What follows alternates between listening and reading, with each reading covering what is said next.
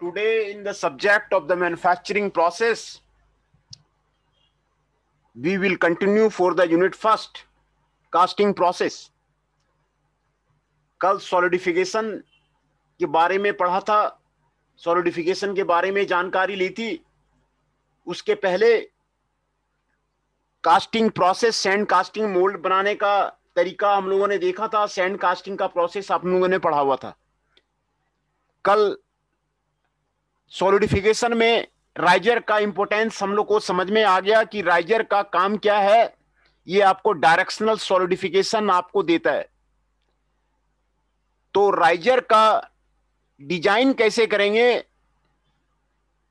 उसके बारे में हम लोग आज पढ़ेंगे। तो राइजर का जो डिज़ाइन करते हैं, वो चॉपलिनॉफ रूल से करते हैं।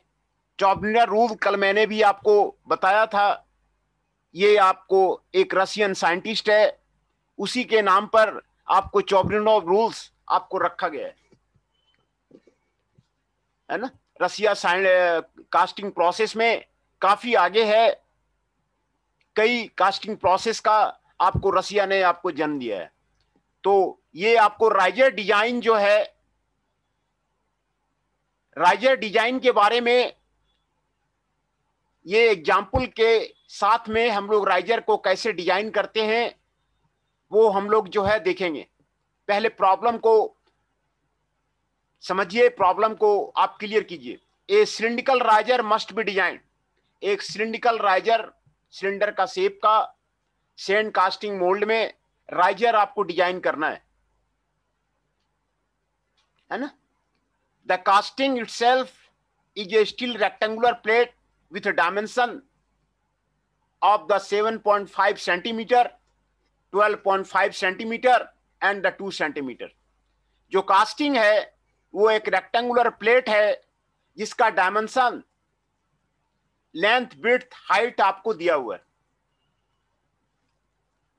previous observation have indicated that the solidification time for this casting is the 1.6 minute पहले का जैसे एक्सपेरिमेंटल रिज़ल्ट होता है, इसीलिए एक्सपेरिमेंटल रिज़ल्ट करते हैं, किसी भी चीज़ को करने के लिए एक्सपेरिमेंटल वेरिफिकेशन करना ज़रूरी है कि वो उससे बहुत सारे डाटा वेरीफाई हो जाते हैं। जहाँ पे लैब में एक्सपेरिमेंट करेंगे तो एक्सपेरिमेंट से आपको बहुत सारे डाटा आपको वेरीफाई हो जाते हैं। तो सिमिलरली सॉलिडिफिकेशन टाइम आपको इस कास्टिंग का 1.6 मिनट आपको निकाला गया। The cylinder of the riser will have a diameter to height ratio 1.0 riser का जो सिलेंडर और डायमीटर का हाइट रेशियो आपको दिए वन आपको दिया हुआ है। Determine the dimension of the riser so that's its solidification time is the two minute riser का आपको साइज़ निकालना है, आपको सॉलिडिफिकेशन टाइम आपको जिससे दो मिनट आपको हो जाए। है ना? देखिए, आपको राइजर कल भी मैंने आपको सॉलिडिफिकेशन में आपको दिखाया था कि राइजर से आपको बहुत ज़्यादा चीज़, आपको सॉलिडिफिकेशन का आपको डिसाइड होता है। तो कास्टिंग के लिए दो इसमें आपको कैलकुलेशन करना है। पूरा कैलकुलेशन मैं पहले आपको दिखा देता हूँ। है ना? ये आपको कैलकुलेशन है। है ना? राइजर के लिए निकाला हुआ है और कास्टिंग के लिए निकाला हुआ है। ये आसान है। इसमें आपको साफ़ लिखा है कि वो चौबनेडो रूल से होगा तो उसका इक्वेशन हम लोग यहाँ पे लगाएँगे। V by A ratio volume by area ratio casting का निकालेंगे। रेक्टेंगुलर है। ये इसका, ये वॉल्यूम हो जाएगा, ये उसका एरिया हो जाएगा। ये भी बाय ए रेशियो हो जाएगा। है ना? फिर ये कॉफिशियंट आपको कास्टिंग के लिए, ये आप निकालेंगे। ये आपको 3.26 मिनिमम मिनट पर सेंटीमीटर स्क्वायर ये आपको निकल जाएगा। राइजर के लिए डी बाई एच वन आपको दिया हुआ है। सॉलिडिफिकेशन टाइम कह रहा है कि दो मिनट आपको होना चाहिए। भी जो है राइजर का आपको सिलिंडिकल है, ये फॉर्मूला होगा। ए का आपको ये फॉर्मूला होगा। डी बाई एच कह रहा है वन डी बाई एच आपको प्रॉब्लम में कह रहा है one then D equal to H तो आपको वी का वैल्यू आपको ये निकल जाएगा। एरिया का वैल्यू आपको ये निकल जाएगा वी बाई ए आपको ये निकल जाएगा, है ना? डी बाई सिक्स है ना? तो चौबरिंडो रूल से T S two point zero हो गया थ्री पॉइंट टू सिक्स हम लोगों ने अभी निकाला था। यहाँ पर और ये डी बाई सिक्स हो गया तो ये आपको यहाँ पर डी का वैल्यू 4.7 सेंटीमीटर आपको आ जाता है। और हाइट आपको 4.7 सेंटीमीटर आ जाता है। ये आपको राइजर का डायमेंशन हो गया। है ना? इसी को राइजर डिज़ाइन बोलते हैं। है ना? तो और राइजर का जो वॉल्यूम होगा, वो कितना होगा? Pi by four four point seven D square into H ये इतना वैल्यूम हो जाएगा। 81.5 सेंटीमीटर स्क्वायर ये राइजर का वॉल्यूम हो गया वो। है ना? तो which is the just 44 percent of the volume of the cast plate though its solidification time is the 25 percent longer ये आपको राइजर डिज़ाइन का, ये आपका प्रॉब्लम था कि राइजर डिज़ाइन आपको कैसे करते हैं? राइजर डिज़ाइन आपको चॉपरिनॉव रूल जो एक रशियन साइंटिस्ट के द्वारा आपको दिया गया है जो एक रशियन प्रोफेसर के द्वारा दिया गया है, उसी से एक्सपेरिमेंटल रिज़ल्ट करके चॉपरिनल रूल्स बनाया गया है। उसी से आपको जो है, ये आपको राइजर डिज़ाइन का, आपको डी और एच आपको निकाला गया। इसी तरह दूसरे राइजर का भी आप डिज़ाइन करके आप निकाल सकते हैं। है ना? ये आपको राइजर डिज़ाइन है। दूसरा कास्टिंग प्रोसेस कौन कौन से कास्टिंग प्रोसेस हैं? उसके बारे में हम लोग स्टडी करेंगे। ये आपको सेंड कास्टिंग प्रोसेस है। इसके बारे में पहला लेक्चर में ही मैंने आपको लेक्चर ले लिया था। और ये जो कास्टिंग है, मैं आपको दूसरे लेक्चर में ये इसका जो कास्टिंग होता है, उसका मैंने आपको पूरा मेथड स्टेप बाय स्टेप आपको सिक्सटीन स्टेप्स थे, या उसमें सिक्सटीन स्टेप्स मैंने बताया था, कैसे कैसे वो करना है। अगर कोई लड़का को कंफ्यूजन है तो आप मुझे फ़ोन कर सकते हैं, और उसका लेक्चर वीडियो आप देख लीजिए। सोलह स्टेप आपको बताए गए थे। इसमें, इस मोल्ड को सैंड मोल्ड को बनाने में। ये आपको फ्लास्क है, ये आपको मोल्डिंग सैंड है, ये आपको पार्टिंग लाइन है ये आपको चौक है, ये आपको पॉरिंग बेसिन है, ये आपको स्प्रू है, ये आपको वेंट वायर है, ये आपको मोल्ड कैविटी है, ये आपको ओपन राइजर है है ना? ये जो ऊपर का पोर्शन है, वो कोप कहलाता है, नीचे का पोर्शन जो है, वो आपको ड्रैग कहलाता है, और ये कोर जो देते हैं, आपको होलो कास्टिंग प्रोड्यूस करने के लिए आपको कोर सैंड देते हैं, है ना?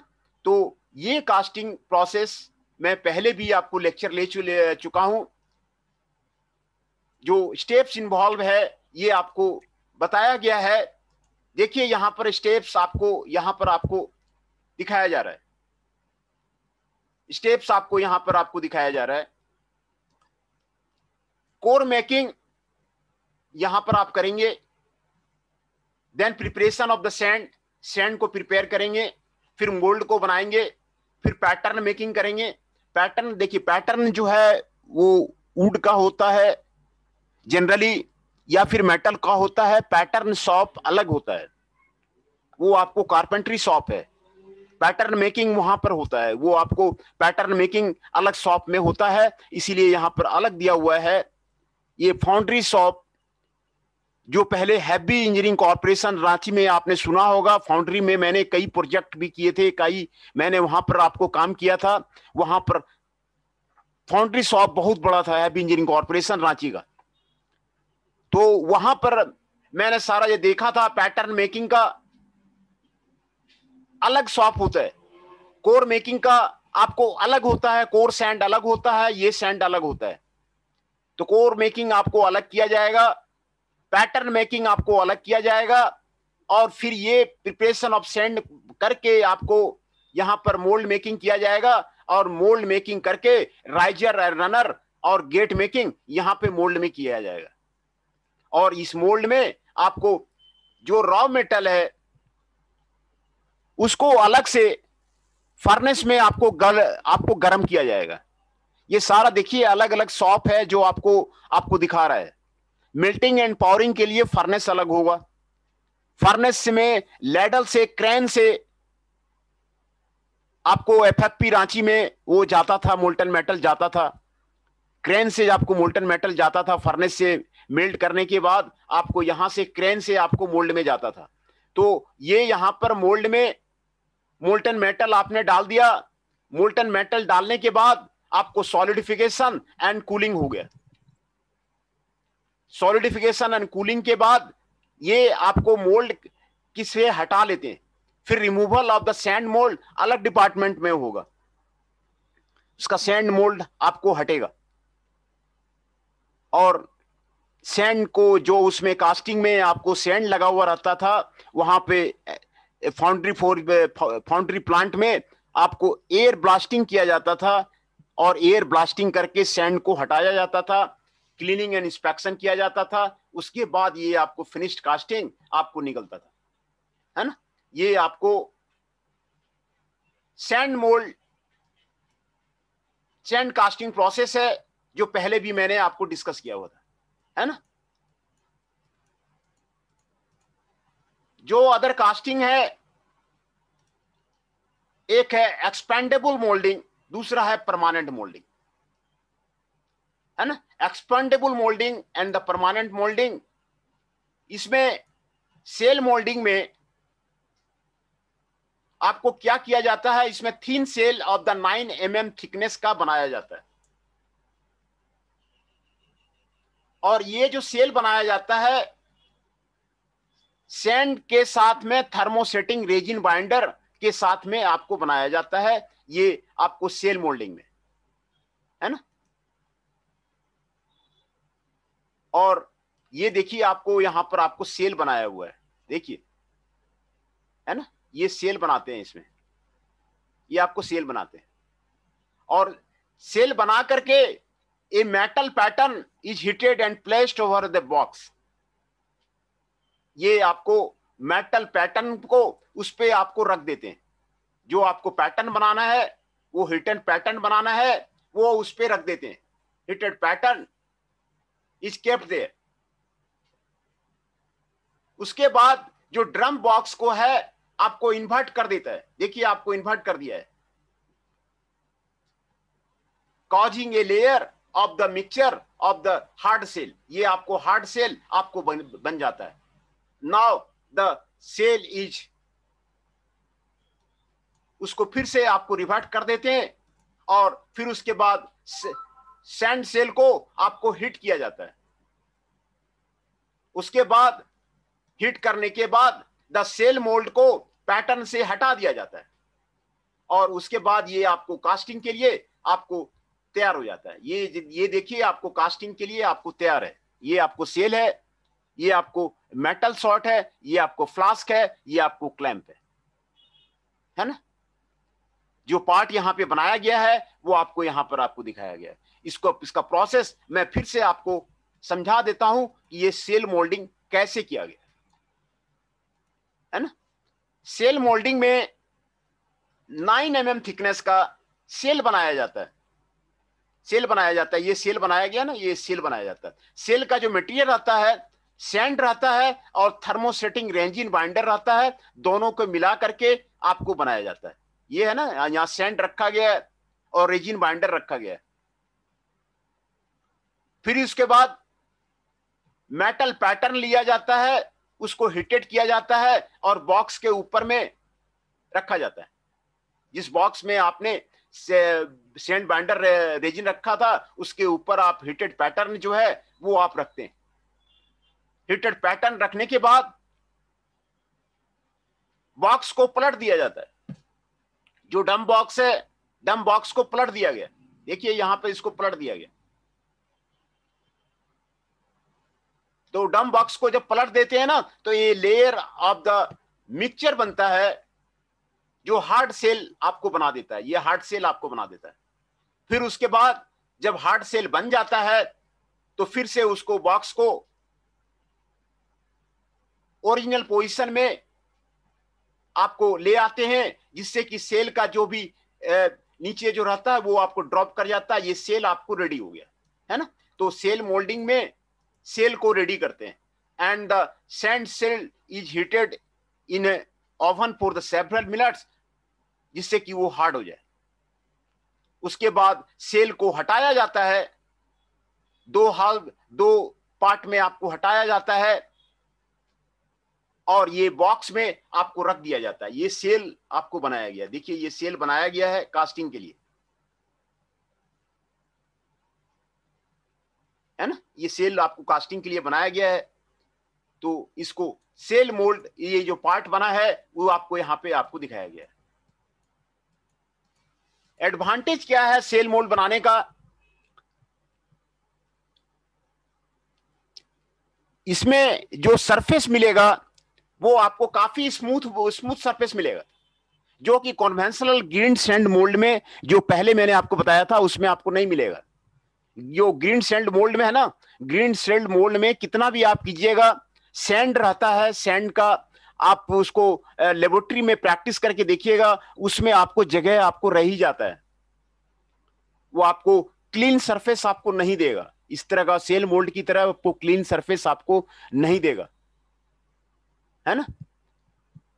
तो ये आपको स्मूथ सरफेस आपको देता है सेल मोल्ड में और सरफेस फिनिश देखिए आपको 2.5 माइक्रोमीटर का माइक्रोमीटर का आप ऑप्टेंड कर सकते हैं इस केस में।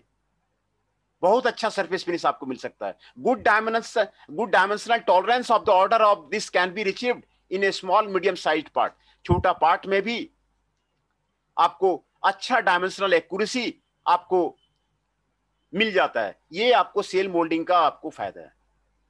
है ना? दूसरा एडवांटेज है मशीनिंग ऑपरेशन आर रिड्यूस्ड ये जो ग्रीन सैंड मोल्ड में जो आपको ऑब्जेक्ट मिलता है ना, जो प्रोडक्ट मिलता है ना, उसमें सैंड आपको बाहर में लगा हुआ रहता है।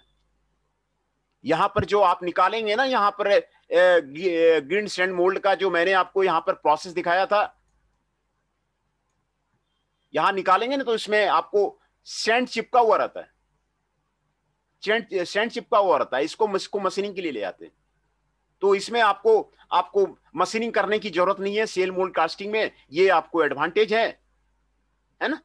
ये आपको उसका एडवांटेज है। और दूसरा एडवांटेज है, इसको मास प्रोडक्शन के लिए आपको किया जा सकता है। है ना? ये आपको सेल मोल्ड का कास्टिंग हो गया और आपको राइजर डिज़ाइन हो गया।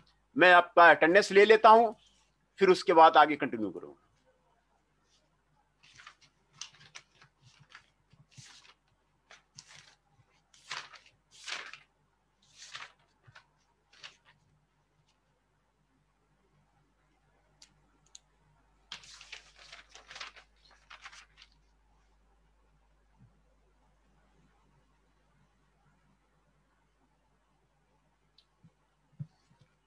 Aman Singh ji 6 is present. Mohit Adhana ji 21 is present. Nitesh Misra ji 23 is present. Tushar Kanojia ji 32 is present. Aman Kushwaha ji 5 is present.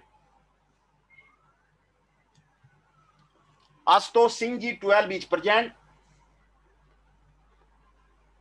Chanchal ji thirteen 13 is present. Shubham Kumar Rana ji 31 is present.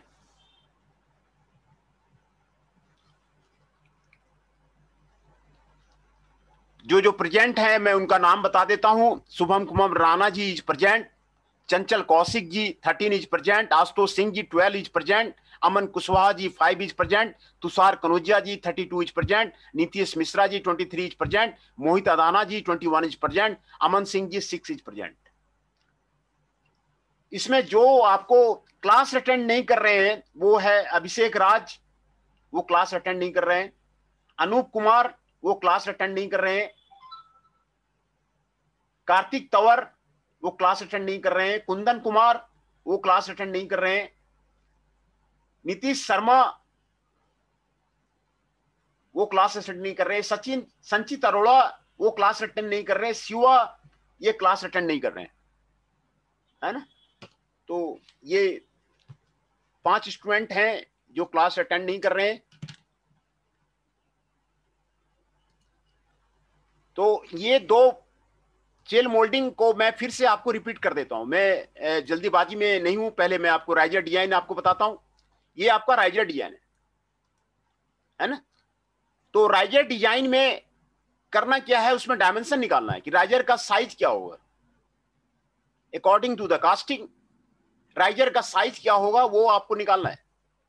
तो riser का जो आपको design है, वो चौपनडीब ये क्रसिया का professor था, उसी ने ये रूल दिया था।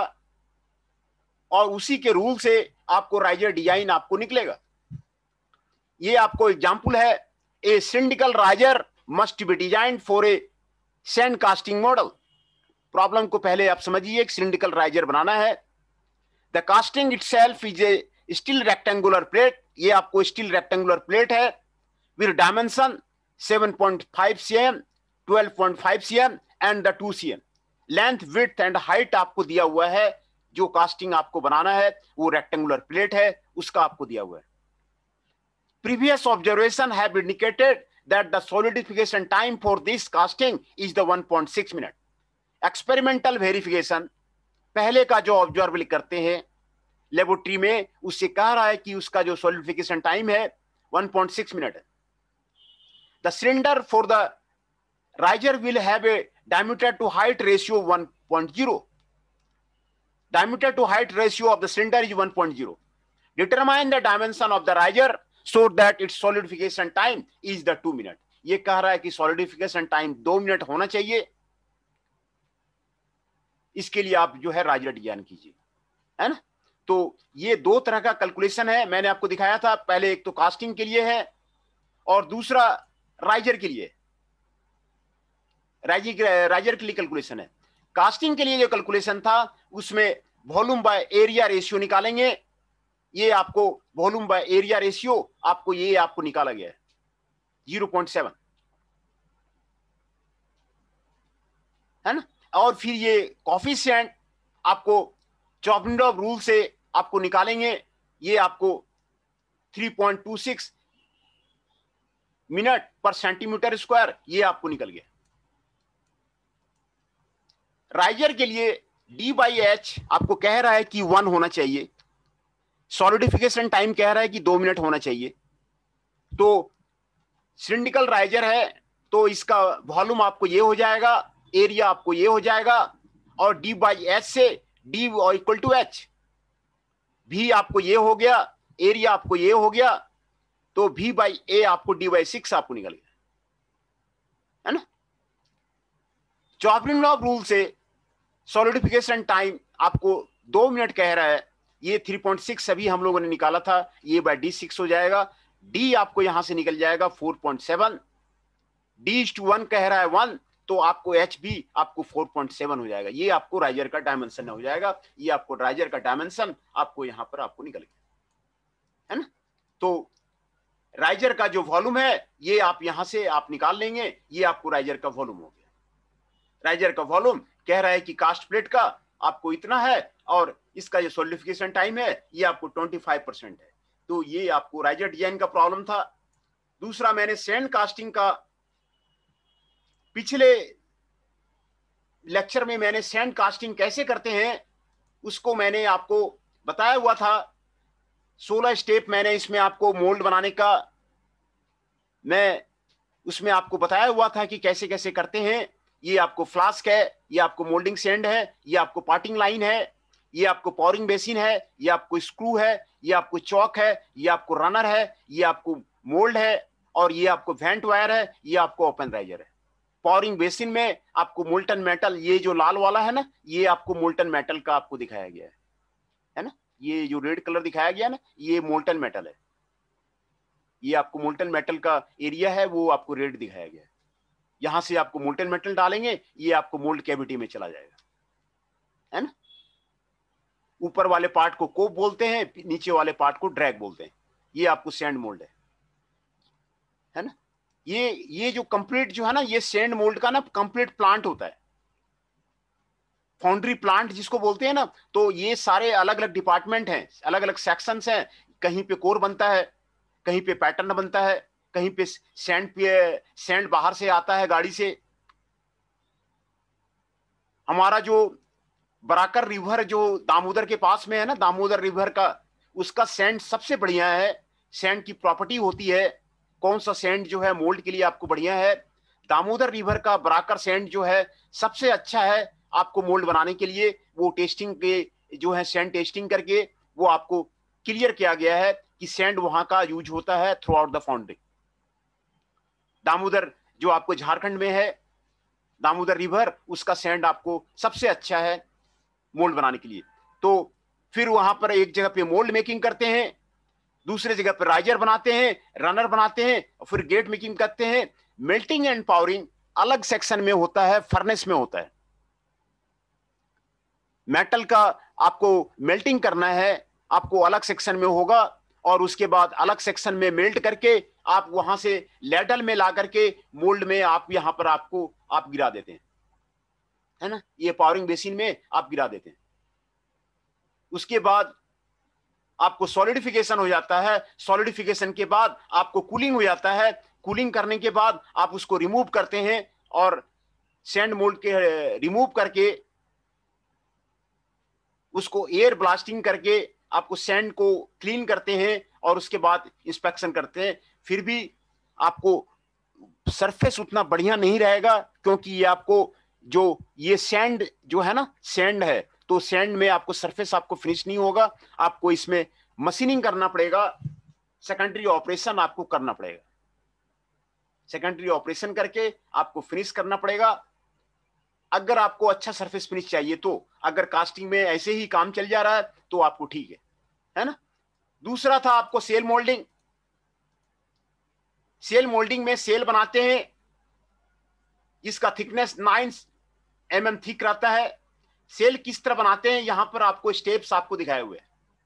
आपको sand with the resin binder आपको नीचे रखा जाता है। ये सैंड का और थर्मोसेटिंग रेजिन बाइंडर आपको यहाँ पर आपको रखा जाता है। दूसरे स्टेप में ये मेटल पैटर्न को हिट किया जाता है, वो उसके ऊपर में आपको रखा जाता है। ये आपको हिटेड पैटर्न है। हिटेड पैटर्न रख के यहाँ पर आपको क्लेम कर देते हैं।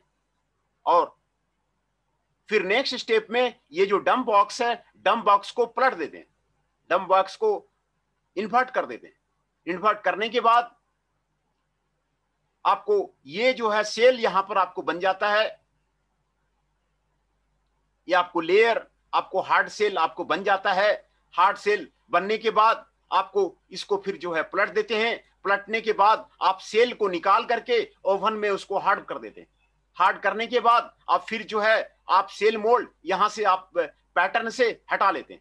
सेल हटा लेते हैं और सेल को यूज़ करते हैं कास्टिंग के लिए, जहाँ पर कि आपको मोल्टन मेटल आपको डाला जाता है। ये typical product of the shell mould casting का आपको दिखाया जा रहा है। है ना?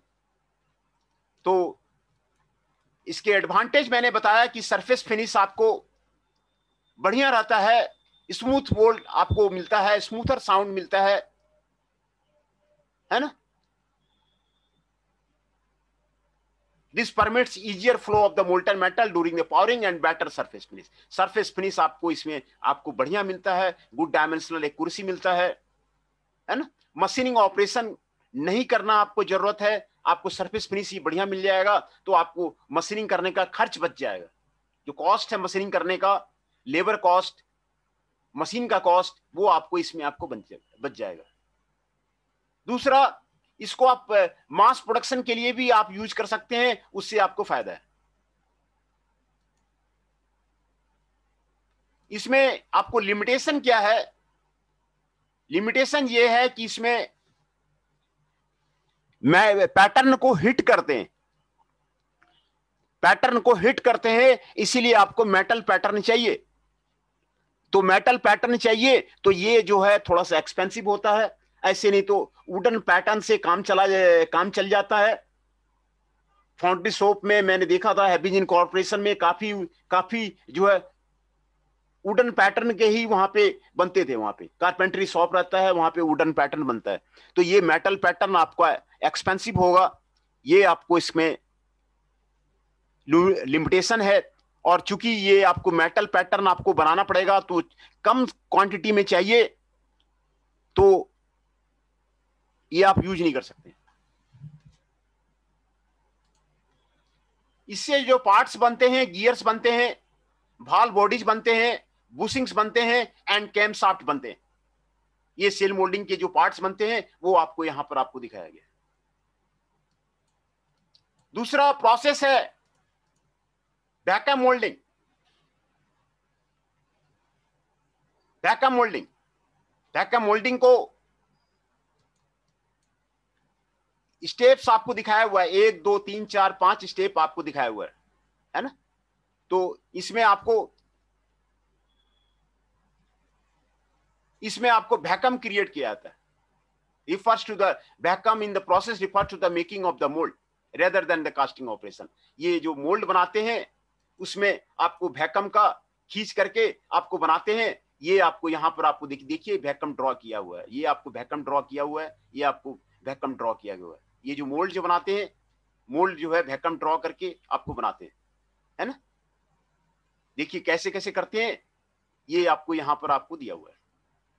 ये वैकम ड्रॉन करते हैं। ये आपको vent holes to draw the plastic और ये प्लास्टिक सीट आपको यहाँ पर आपको दिया हुआ है। है ना? ये प्लास्टिक सीट है। ये आपको पैटर्न ये दो दिखाया है। आप कई पैटर्न इसमें आप लगा सकते हैं। है ना? ये दो पैटर्न यहाँ पे दिखाए हुए हैं। कई पैटर्न आप लगा सकते हैं।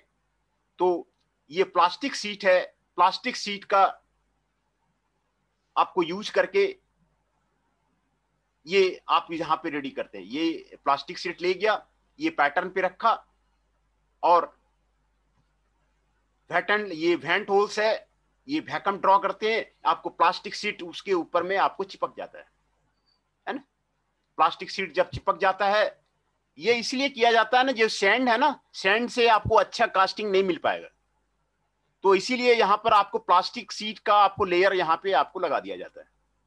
प्लास्टिक सीट का आप लेयर लगा देते हैं तो आपको जो है, जो आपको फिनिशिंग है, वो आपको बढ़िया है। है ना? यहाँ पर प्लास्टिक सीट लगा करके ये यहाँ से आपको वेंट होल्स बना हुआ है, ये वैकम कर देते हैं, ये प्लास्टिक सीट आपको यहाँ पर आ जाता है।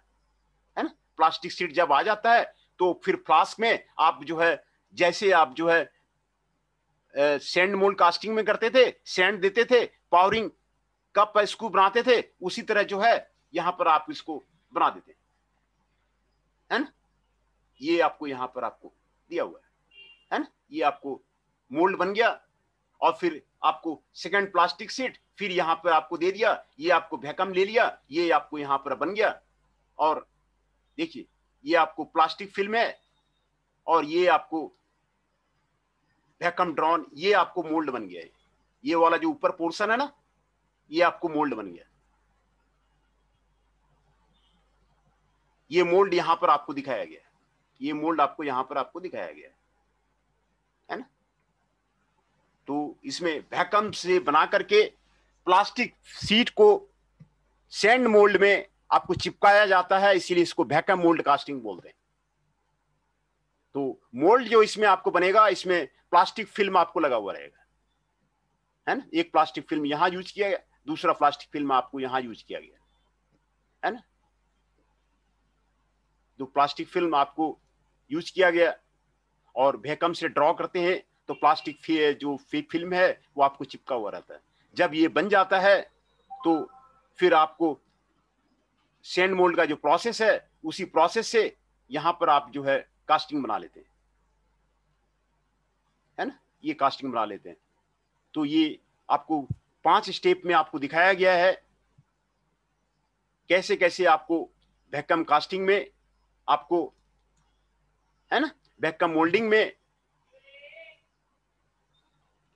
the sand mould is held together by the vacuum pressure और not by the chemical binder इसमें बाइंडर नहीं लगाया जाता है वेकम से जो है उसको खींचा जाता है। वैकम से उसको खींचा किया जाता है वैकम से आपको ड्राउन किया जाता है। ये प्रोसेस आपको पाँच प्रोसेस आपको यहाँ पर आपको दिखाया जा रहा है। पहला प्रोसेस ये आपको पैटर्न है। पहला सीट आपको यहाँ पे रखा गया और भैकम खींचा गया, है ना? फिर उसके बाद फ्लास्क लगाया गया। फ्लास्क लगा के आपको सैंड दिया गया। पावरिंग कप और स्प्रू बनाया गया। उसके बाद सेकंड प्लास्टिक सीट आपको यहाँ पे लगाया गया। सेकंड प्लास्टिक सीट लगा के वैकम ट्रॉन किया गया। ये आपको चिकप गया। ये आपको मोल्ड बन गया। ये मोल्ड बनने के बाद ये पैटर्न हटा देते हैं। है ना? ये वैकम ड्रॉन से आपको दोनों, आपको प्लास्टिक फ़िल्म आपको चिपका हुआ रहेगा। है ना?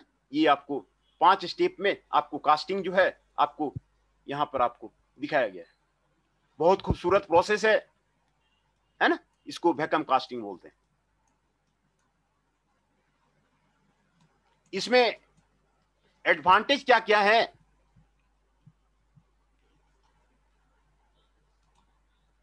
नो बाइंडर्स आर यूज़ इसमें बाइंडर्स वगैरह यूज़ नहीं किया जाता है sand is readily recovered sand को आप दोबारा यूज़ कर सकते हैं। मैकेनिकल रेमिंग इसमें जो आपको सैंड मोल्ड कास्टिंग में करते थे, वो रेमिंग यहाँ पर करने की ज़रूरत नहीं है। ये आपको भैकम से आपको टाइट कर देता है, आपको रेमिंग करने की आपको ज़रूरत नहीं है। तो मैकेनिकल रेमिंग का आपको ज़रूरत नहीं है। Since no water is mix with the sand इसीलिए आपको डिफेक्ट्स नहीं होंगे। कास्टिंग में ये देखिए फ़ायदा है। कास्टिंग में काफ़ी डिफेक्ट्स होते हैं। डिफेक्ट्स के बारे में एक लेक्चर उसमें भी लेंगे। और कास्टिंग के डिफेक्ट्स के बारे में हम लोग चर्चा करेंगे किस तरह कास्टिंग में डिफेक्ट्स होता है। तो आपको ये वैकम मोल्डिंग से ये फ़ायदा है कि कास्टिंग में आपको डिफेक्ट्स नहीं होगा। है ना? आपको ये फ़ायदा है कि आपको डिफेक्ट फ्री आपको कास्टिंग डिफेक्ट फ्री प्रोडक्ट आपको ये देगा, ये आपको, इससे आपको फ़ायदा है। तो ये आपको इसमें एडवांटेज है। मैकेनिकल रेमिंग करने की ज़रूरत नहीं है। सैंड को आप दोबारा यूज़ कर सकते हैं। ये इसमें आपको इसका एडवांटेज है डिसएडवांटेज है कि थोड़ा सा ये स्लो प्रोसेस है क्योंकि इसमें टाइम लगेगा। करने में ये आपको वैकम कास्टिंग का आपको प्रोसेस है है ना? ये आपको वैकम कास्टिंग का प्रोसेस है। ये आपको वैकम कास्टिंग का पाँच स्टेप में आपको प्रोसेस आपको क्लियर आपको दिखाया गया है।